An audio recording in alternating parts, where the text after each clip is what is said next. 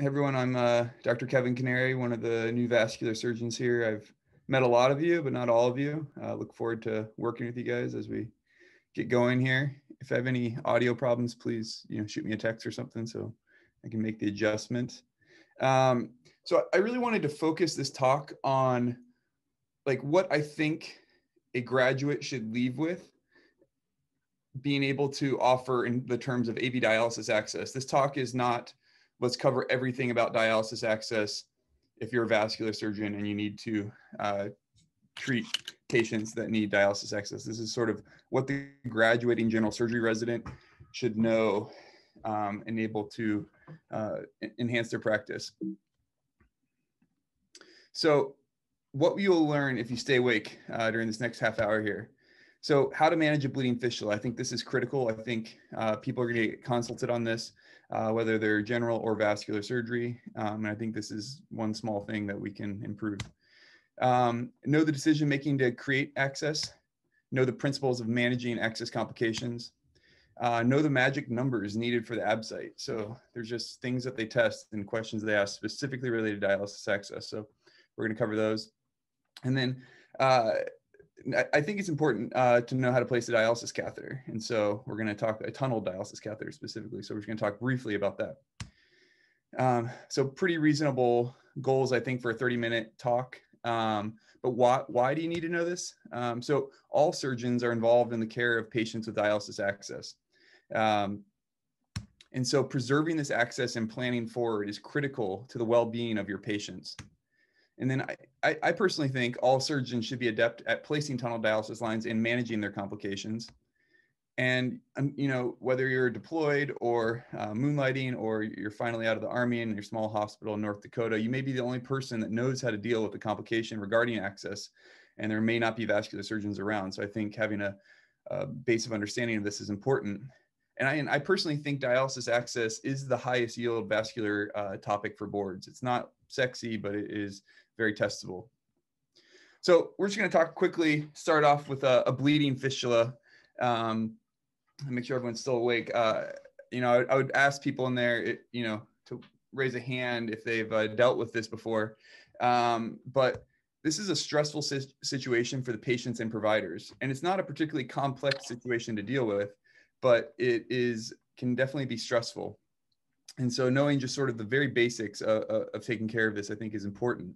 Um, so any patient that you're dealing with that uh, has a dialysis access complication, I, I, think there's some critical questions that you need to answer. And before we fix this bleeding dialysis um, fistula, I think some of these things are critical to know. So is it autogenous or a graft? If you if you forget to ask any question or figure out any answer, whether it's op reports, this is the single question, if you get answered, will help direct our management.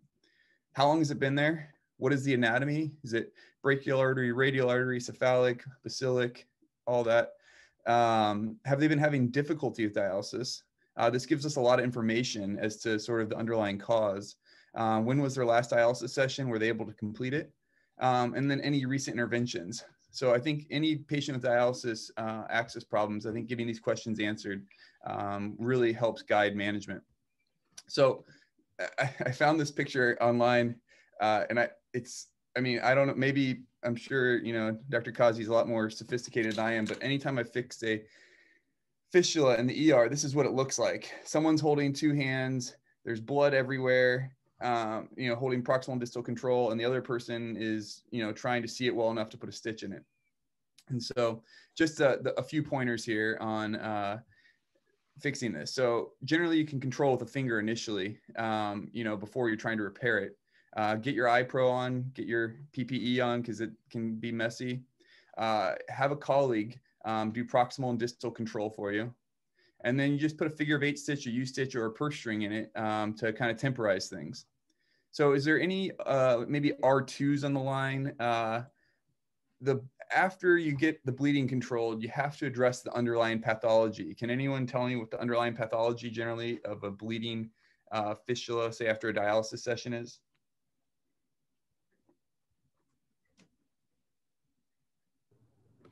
Is it is it pseudoaneurysm? Uh, so generally, it's a, a, venous hypertension. So uh, you know, you, you've created this arterial access. So you, you've hooked an artery into a vein, and now your central venous system is seeing high flow venous pressures. The veins aren't used to that. So you look at this picture on the left here, you see this stenosis here. So now you have this arterial blood pouring in here, but it can't get out. So it finds the easiest path out, which a lot of times is that recent hole that was made by the dialysis access needle. Um, and so, you know, the venous system should be low pressure, but if it isn't, um, it's going to bleed out your fistula. So stopping the bleeding is good, but they're going to bleed again soon if you don't treat the underlying pathology. Um, and this is just a, a venogram uh, with ballooning. Uh, most of the time treats this, and you can see how it's restored here.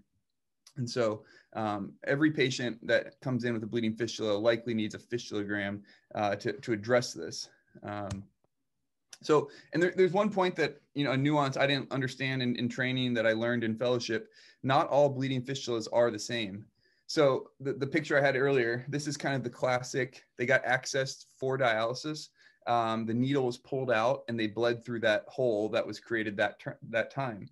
Um, so that that's one situation that's relatively easy to control. You can do the fistulogram sort of in a, you know, semi-urgent the next day sort of thing, two days if you need to, as long as it's not bleeding. But there are patients, kind of to uh, whoever just answered that, related that have pseudoaneurysms that have necrotic skin, that have ulcers from uh, these large uh, fistulas. Um, and, and when these things bleed, in my personal opinion, it, it's, it's, it's pretty close to a surgical emergency. So this is not the patient you put a stitch in or you put five stitches in and put an ace bandage on and see them the next morning. This actually happened in my fellowship. Uh, a resident, uh, you know, was trying to prevent calling the vascular fellow and they uh, stitched up one of these in the ER and it was a big ulcer. And, uh, and the long story short is the they put an ace big ace bandage on it that you couldn't really see around, and the the patient exsanguinated on the floor um, because these are not really treatable. Um, these need a kind of a, a, resection and reconstruction rather than just a uh, a pinpoint suture. So kind of differentiating between these two is critical. Um, and, and the one on the right is a is a surgical emergency if it is bleeding. So uh, this is kind of interesting. I think just something to keep in mind. Uh, in the UK, they actually give every dialysis patient this little bottle cap that they uh, hook to a keychain, and they're taught to, if it's bleeding, put this on and uh, wrap it with ace bandage. And I've heard anecdotally a few stories of it being very successful. Um, so if you're, you know, out at a football game or something and someone's bleeding, uh, this is probably a good way to do it and deal with it. So something to keep in mind. Um, and then just one other kind of, you know, you guys are all surgeons, uh, and I, I believe if a patient comes to you for surgery and they have dialysis access, it is your responsibility to ensure that you know nothing is done to harm this patient. And so there was a thyroidectomy being done in fellowship and they tucked the arms too tight and a patient of ours lost uh, her fistula that she'd had for five years and um, was subsequently catheter based dialysis afterwards because she had no further, you know, adequate access. Later got a graft, but had no more autogenous access. So things like this, the nurses may or may not know patients have uh, a fistula. And, um, and so really important to help prevent these kind of complications. Just keep that in mind if you're ever tucking the arms in these patients. So we do have to talk a little bit about sort of the the thinking that goes into creating access. This is board relevant and also just helps you guys understand um, kind of what we go through as vascular surgeons. Um, we're going to keep this brief. Um, so just a background, there's a lot of people on dialysis in the US. It's increasing uh, over 600,000. Uh, the majority of these patients start with a catheter, uh, which is not ideal. Um, and then it's a very large part of the Medicare budget. And every so if you just take outcomes aside, there's a big cost uh, uh, with catheters. So catheters cause infections, they cause hospitalizations, um, and so th- there's a lot of cost um, associated with these catheters.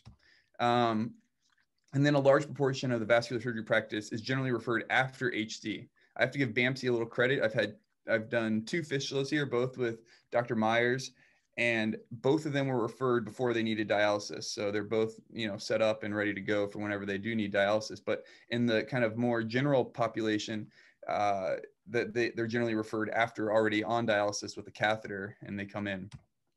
Um, and then if they are preemptively referred, uh, their chances of starting with the catheter are significantly less.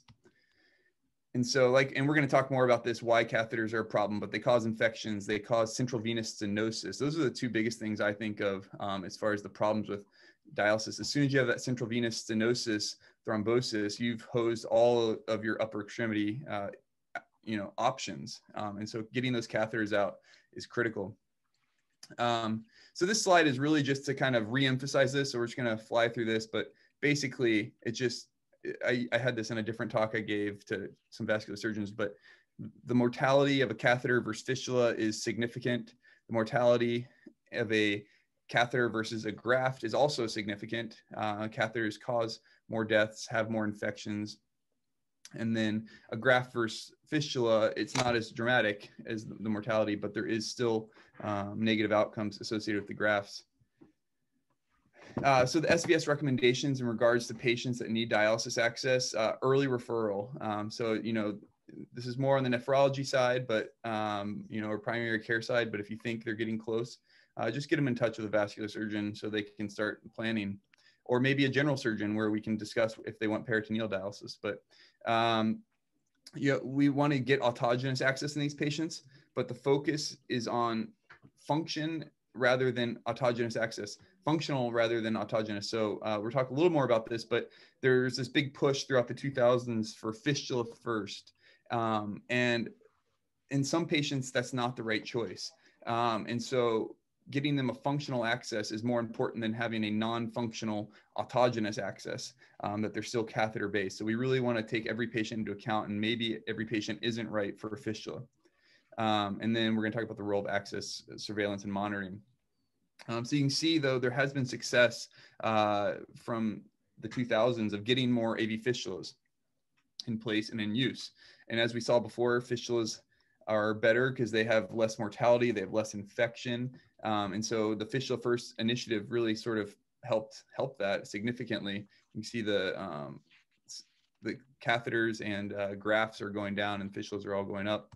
And here's another reason fistulas are good. Not only do they have less infections, they're also uh, patent for longer. Um, and so, so autogenous primary patency, um, which means you know you you hook it up and you don't do anything to it. Uh, 24% or 24 months, about 50%. Uh, and then if you if you do some interventions, whether it's a fistulogram or whatever it may be, they're having close to 80% to your patency. You can see PTFEs generally about half so uh, another good reason for fistulas is why we and why we focus on them. All right, uh, interns are gonna have to step up. I will search you out if you don't answer here. Uh, so you have a patient in the SICU recovering from sepsis from an NSTI. Unfortunately, now they're in renal failure and getting ready to go to a SNF. What are two considerations uh, before they discharge? They're currently dialyzing through a Mahurkar, which is just a central line uh, in the right IJ. Uh, so what two things uh, do you want to think about before discharging this patient? You can give me one thing. You don't have to name both at the same time. We'll start with one thing. Anything you want to do? You want to send them out with this uh, Mahurkar and the right IJ? All right, let's start searching here. I saw Todd on there. Todd.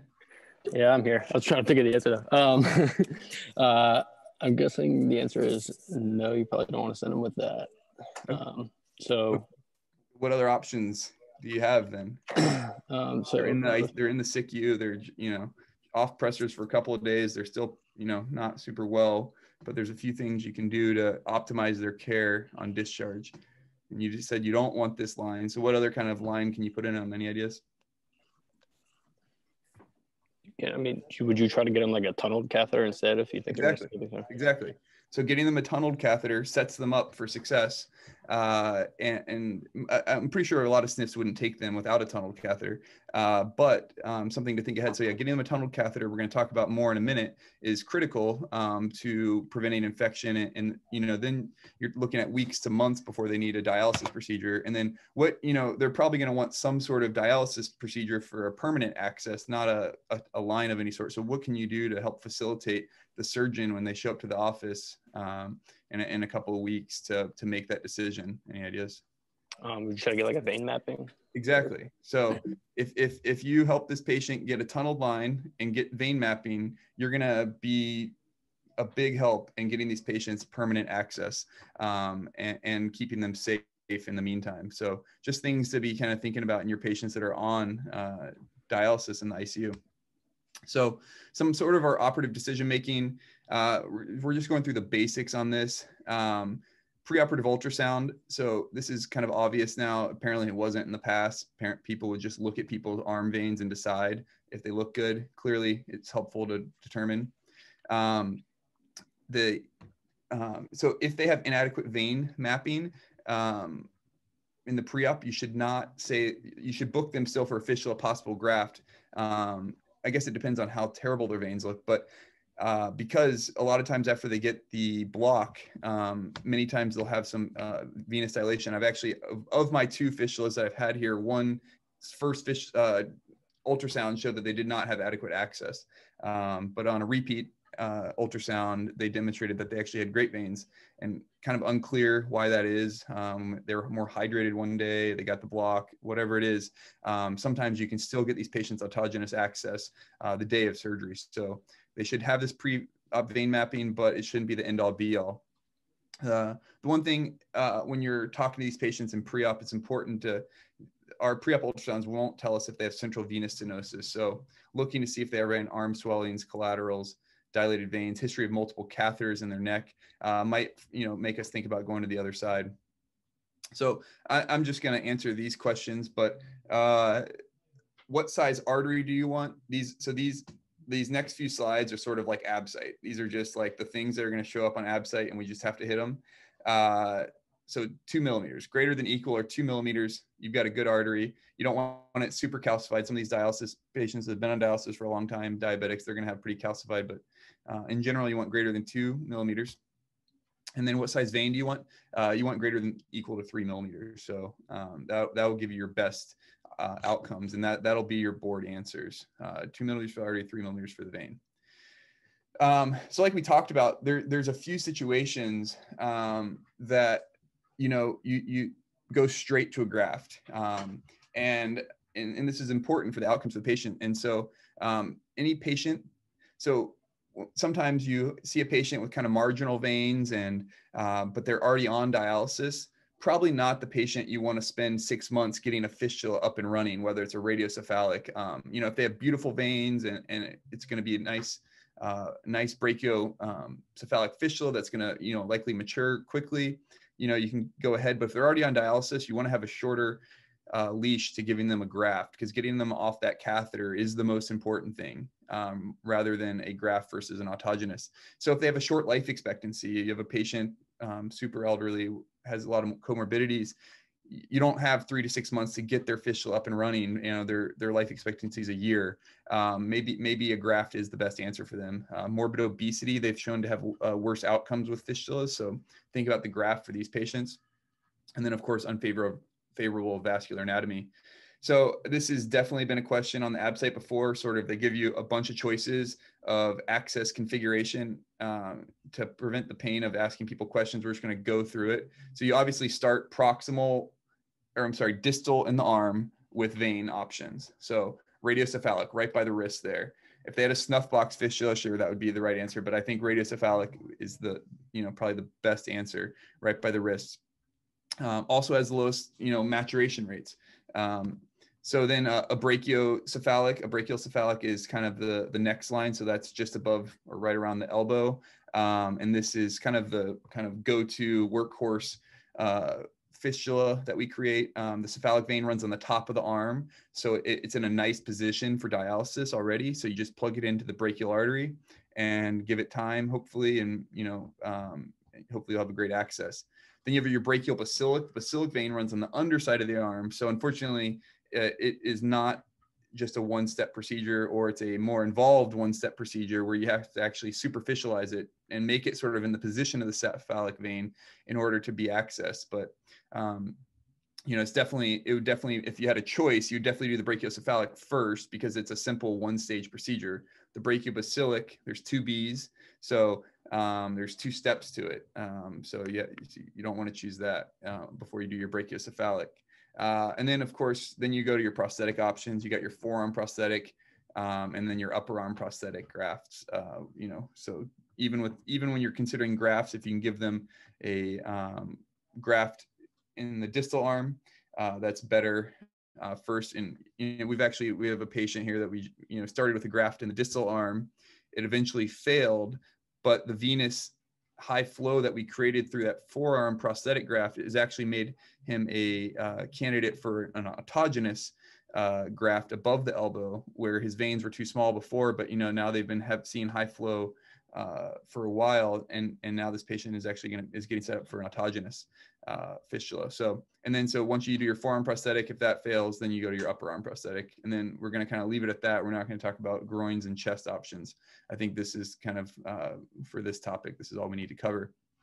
Um, so uh, Todd, since you're the only person I see on here right now, because it's just showing me one person, what would you guess? And this is a total guess. Uh, what do you think the maturation rate for a fistula is? You hook a brachiocephalic up, and you know what percentage of patients in a few months are going to be able to dialyze with nothing else done? Um, we'll go with fifty to sixty percent. Yeah, good good job. I don't know if you saw it or what, but great answer.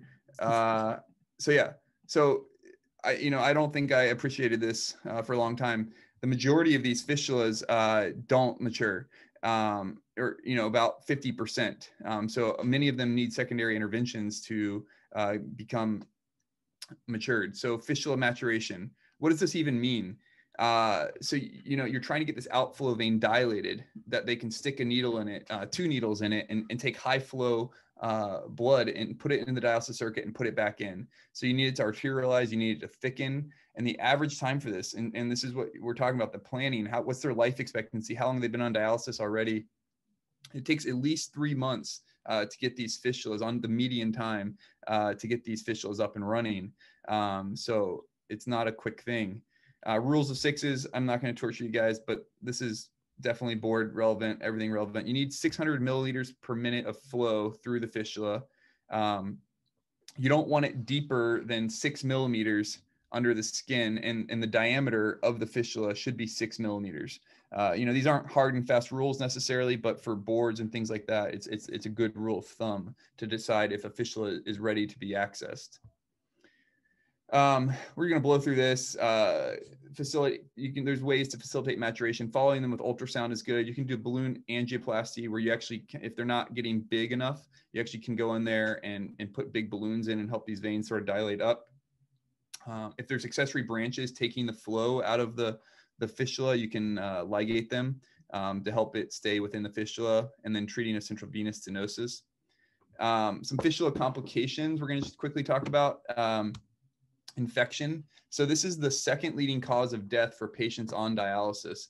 Uh, first being cardiac uh, morbidity, but the, the, second is infection. And so leaving that catheter in um, or have is, is a very high uh, cause of death in these patients. So if it's a graft, it will need to be explanted it's definitely on your boards. That's for sure the answer. There's a few times we're able to salvage these uh, without explanting, but if it's a graft, you'll need to explant, and then you don't want to put the TDC at the same time. You want to clear this blood infection and then get them a TDC. Um, you could even use a temporary dialysis line in the meantime before you place the TDC. You want to make sure their blood cultures are, are negative uh, long before you place a, uh, your, your TDC uh, fistulas infections are rare, but sometimes you see cellulitis around a hematoma uh, or, or, different things, and antibiotics will likely treat this. So, like I said, when you're having an infection in the ER, knowing whether it's a graft or fistula totally changes the management. Um, and so, making that differentiation is critical. Bleeding, we've already discussed, likely an outflow stenosis, need to treat it. Thrombosis, uh, person's in the ER, they have a thrombose graft. Okay, if they have a thrombose graft, you're thinking all right, we can we can probably salvage this. You can do a thrombectomy. If it's a fistula, fistulas do not do well with thrombectomy. Uh, you're basically uh, the intima of, of a fistula does not respond uh, well and will likely rethrombose. There are some fistulas we're able to salvage, um, so it's definitely not a no chance. but in general, a fistula is likely going to be they're likely going to need new access, whereas a, a, graft they're likely to you know be able to uh, get that declotted. Uh, hematomas. Uh, so sometimes if you access these grafts uh, or fistulas too early and they haven't had time to sort of incorporate, uh, they can get hematomas around them, uh, or sometimes they're accessed poorly. They they double stick it through and through, and it bleeds in the back. Uh, these are these can be big problems, and sometimes they're going to need to go on a catheter for a while to let their arm heal up. Steal, whole different talk.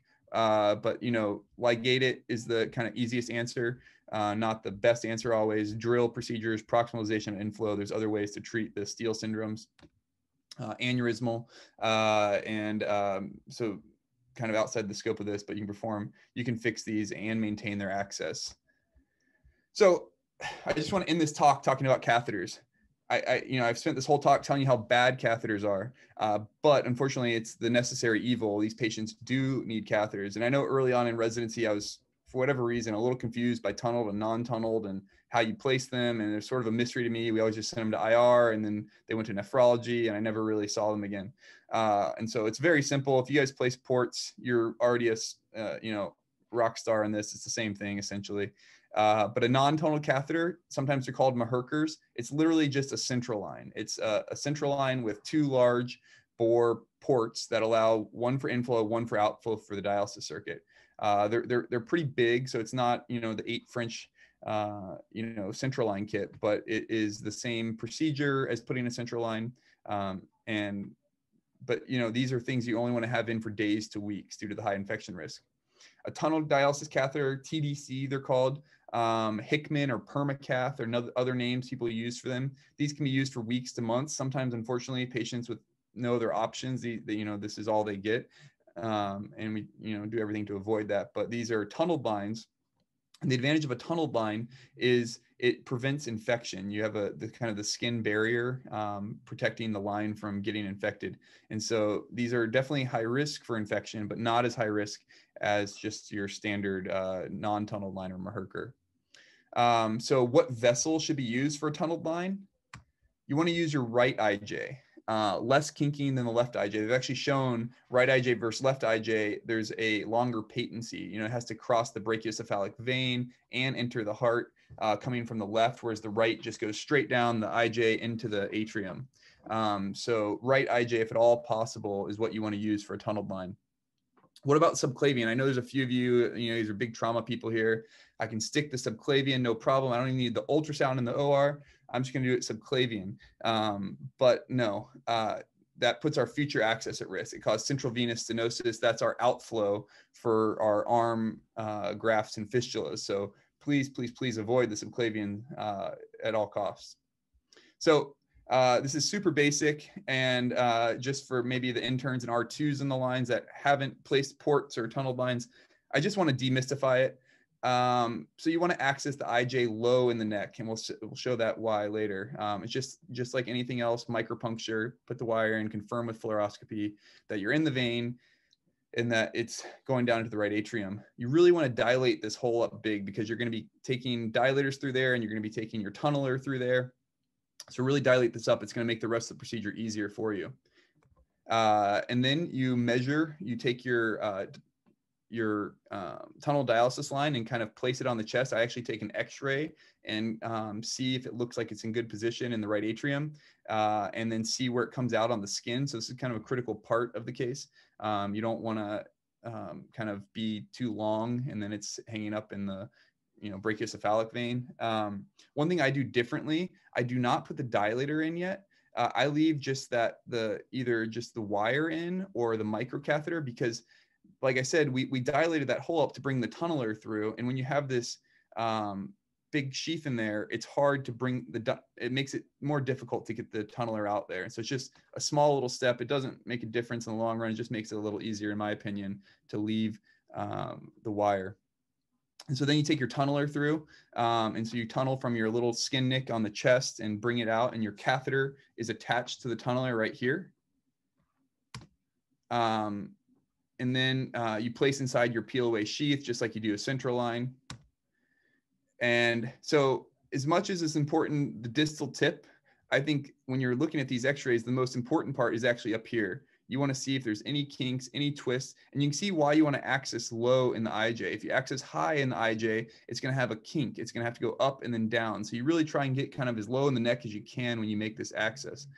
But you know uh, that's really all it is. And now you're suturing in your uh, your nylons here, closing your little skin nick here, and that's a TDC. So I think everyone on this call is uh, very capable of doing a TDC and, and, and should be able to offer their patients that if they need it. Um, so looks like we kept it just about to 30 minutes. Um, so in conclusion, most surgeons are involved in the care of patients with dialysis access, and it's important to recognize the needs of these patients and to help ensure access options for the future. Fistula is better than a graft, and both of those are much, much better than a catheter. So let's do what we can to keep these catheters out of these patients. Um, you know, there's a lot of uh, careful consideration going into deciding on what patients get and the order in which they get it um, to pr prolong their access. And then, um, and like I talked about, there's been a little bit of a shift in the past five years of a, away from fistula first to functional access first. Um, so I hope we uh, met those goals and uh, kept it within our kind of time limit here. So um, feel free to ask any questions.